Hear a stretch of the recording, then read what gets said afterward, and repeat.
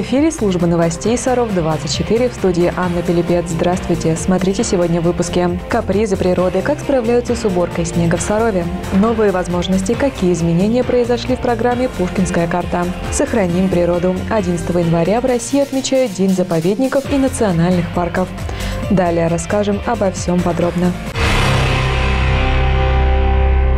Около 60 единиц основной техники и 45 наемной. Сотрудники дорожно-эксплуатационного предприятия продолжают борьбу с непогодой.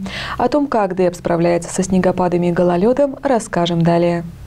14 погрузчиков, 30 самосвалов и 15 единиц уборочной техники для расчистки дорог и тротуаров. Рабочий день сотрудников дорожно-эксплуатационного предприятия начинается ни свет ни заря, в 5 утра. Это дневная смена. Не позволила погода отдохнуть и в январские праздники. Выходные пришлись только на 1 и 7 января. Справляемся, конечно, неплохо. Успеваем мы почистим, вывозим. Сейчас э после этого снегопада немного уменьшим вывоз, чтобы очистить город, а потом приступить уже к вывозу снега. Будет пока складировать, будут небольшие неудобства, будут кучки, но потом вывезем. Вывозят снег на специальный полигон. С утра мы наблюдали здесь вереницу машин. Ежедневно сюда привозят около трех с половиной тысяч тонн снега, рассказал директор ДЭП Василий Ласточкин. График состоит из улиц первой, второй и третьей очереди. Сначала расчищают автобусные маршруты и центральные дороги. Затем поселки Тис, Балыково. Дворовыми территориями занимаются управляющие компании.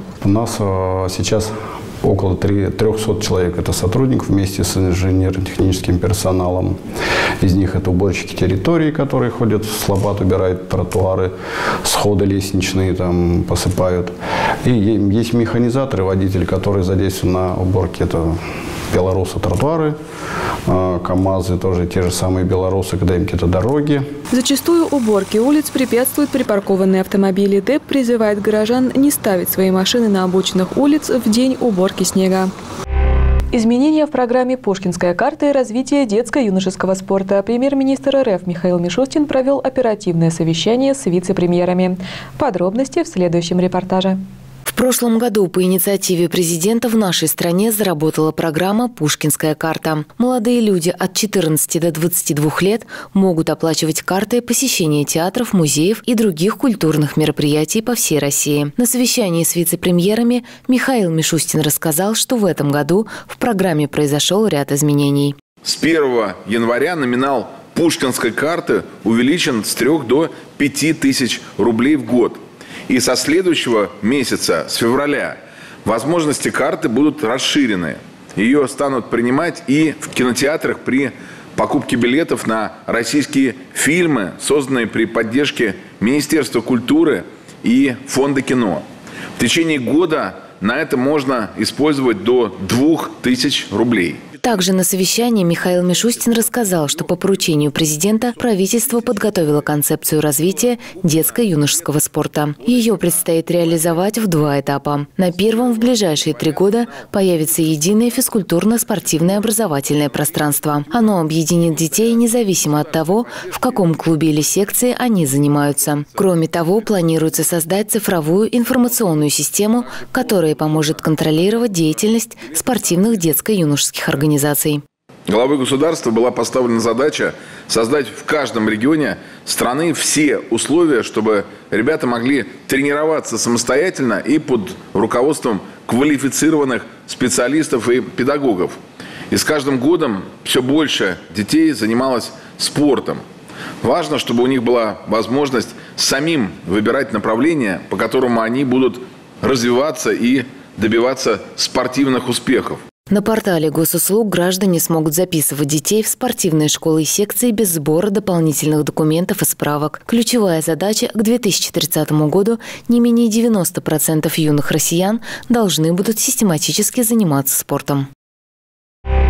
126 различных штаммов вируса гриппа зарегистрировали в регионах России.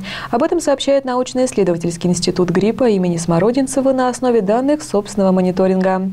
87 из выявленных штаммов оказались родственны тому, что вошел в состав вакцин от гриппа, которые рекомендовала Всемирная организация здравоохранения в текущем сезоне. Другая важная информация в подборке коротких новостей.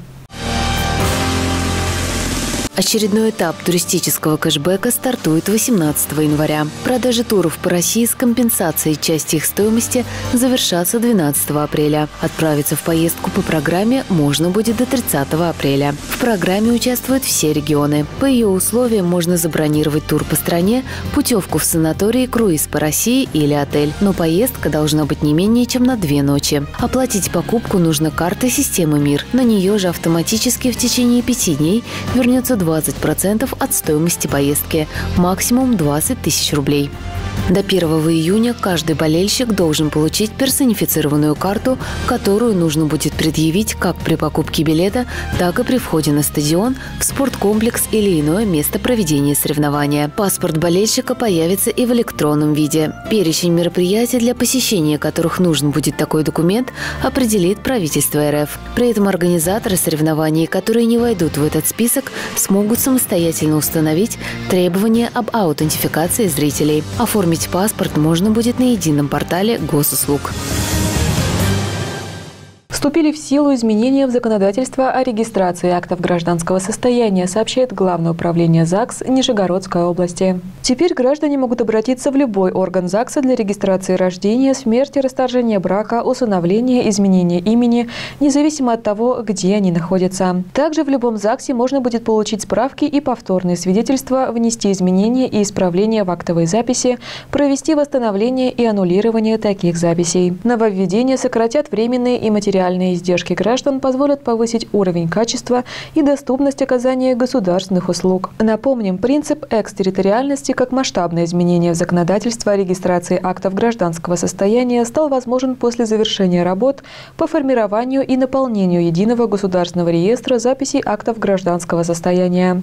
В электронный вид в России перевели более 524 миллионов записей из архивов органов ЗАГСа, начиная с 1926 года. В Нижегородской области области более 14 миллионов актов всех видов. Есть много расходов, часть которых можно вернуть благодаря налоговому вычету. Сюда входят траты на приобретение недвижимости, обучение, лечение. Как оформить налоговый вычет, когда деньги поступят на счет налогоплательщика, а также кому положены и как предоставляются социальные вычеты, расскажем далее. Налоговый вычет – это возврат налога на доходы физических лиц. Оформить налоговый вычет могут только граждане с официальным местом работы, которые уплачивают подоходный налог в размере 13%. Возврат можно оформить при расходах на покупку недвижимости, образование или лечение. Налогоплательщики имеют право заявить имущественный вычет. Этот вычет предоставляется, когда физическое лицо приобретает жилье квартиру, комнату или жилой дом. Также имеет право на получение социальных вычетов. Социальные вычеты предоставляются в том случае, когда человек потратил деньги на лечение или образование для себя или детей. Проверка налоговой декларации проходит в течение трех месяцев. После этого деньги поступают на счет налогоплательщика. Также нужно помнить, что возврат налога на имущество можно использовать один раз в жизни. Нужно приготовить пакет документов. Это документы, подтверждающие расходы понесенные и предоставить в инспекцию налоговую декларацию по форме 3 НДФЛ. Можно обратиться лично предоставив документы и декларацию, а также отправить декларацию через личный кабинет налогоплательщика. По всем интересующим вопросам обращайтесь по телефону 3 48 37 или по телефону контакт-центра 8 800 222 22 22. Ежегодно 11 января в России отмечают День заповедников и национальных парков. Праздник приурочен к дате основания первого в истории нашей страны государственного заповедника Баргузинского. О том, чем живет Мордовский государственный природный заповедник имени Смедовича, расскажем далее.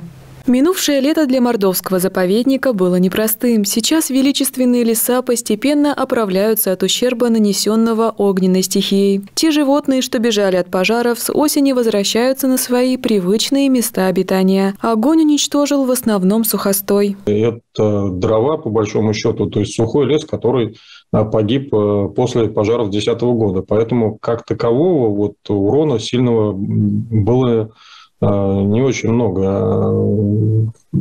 То есть это участки, которые начали восстанавливаться, но, в принципе, это древостой очень такой тонкий, мелкая береза, которая очень быстро отрастает. В лесах Мордовского заповедника можно встретить лосей, оленей, куниц, кабанов, волков, лисиц, бурых медведей. Особая гордость – зубры. Впервые они появились здесь в 2019 году. Восемь особей были привезены из питомника Окского заповедника. Сейчас зубриное стадо Мордовии насчитывает 15 особей, в том числе двух малышей. Один появился в июне, другой в сентябре, уже после пожаров. Они у нас прямо на территории находятся, зимуют они у нас мы их подкармливаем понемножку. Мы даже вот акцию такую организовали «Покорми зубра». То есть, э, если есть э, люди, которые хотят помочь зубрам а в такой вот сложную зиму, а зима сложноватой становится, то могут э, привести какие-то вкусные корма наподобие свеклы, к примеру, там, или морковки. Морковку очень любят, они витаминный корм. Принять участие в акции и передать корм зубрам могут и саровчане. Дополнительная информация по телефону 8 937 518 61 71. Флора и фауна этих мест богаты и удивительны. Ученые постоянно проводят здесь исследования, и порой их открытия поражают. К примеру, до пожаров научные сотрудники открыли два новых вида насекомых для мировой фауны. Один планируют назвать в честь Мордовии. Уникальный заповедник был в 30-х годах, когда его создали. В это время было несколько э, больших э, экспедиций московских э, из Московского университета, из зоологического института, эти экспедиции, в принципе, увидев э, те места, в которых они находились, они решили, что это один из самых уникальных лесов вообще какой-либо существующий в европейской части, и, в принципе, они оказались правы. История заповедника берет свое начало 5 марта 1936 года. Назван в честь государственного деятеля Петра Смедовича, уделявшего много внимания вопросам охраны природы в стране. Анна Пелепец, Константин Островский, Сергей Рябов, Служба новостей Саров 24. Воспитанница детской школы искусств Варвара Кулькова стала лауреатом первой степени на международном конкурсе «Шоу талантов», а также приняла участие в мастер-классе на базе Арзамасского музыкального колледжа. Подробности в следующем репортаже.